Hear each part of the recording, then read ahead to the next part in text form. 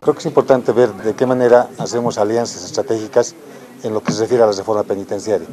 Hoy nos toca hablar eh, lo que es la reinserción social con enfoque de género, eh, específicamente al tema de mujeres. La dirección del régimen penitenciario junto a la 1DC, enmarcados en un enfoque de género con el principal objetivo de empoderar a las mujeres privadas de libertad, ejecutará el proyecto DOA, mismo que está pensado y preparado para el ejercicio de los derechos y la superación de estereotipos de género. Creo que este, esta reforma penitenciaria es de largo alcance, seguimos apostando nosotros y convencidos además de que el consenso, la concertación que se debe buscar entre todas las instituciones, tanto públicas pero también privadas, o decimos de, las, eh, de la sociedad civil, va a poder generar de que la reforma penitenciaria sea visible.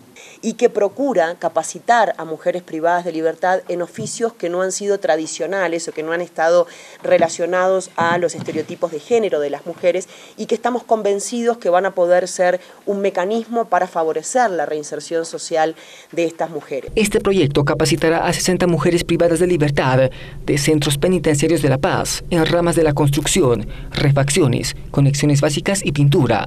Se prevé el lanzamiento de este proyecto en 2018. La inserción social entendida como salud, tenemos eh, lo que es educación, tenemos también lo que es terapia ocupacional, sin olvidarnos de lo que es deporte y también las actividades culturales que vamos desarrollando en todos los centros penitenciarios a nivel nacional. En Bolivia existen cerca de 1.388 mujeres privadas de libertad. El mayor número de reclusas se encuentran en la cárcel por delitos de narcotráfico.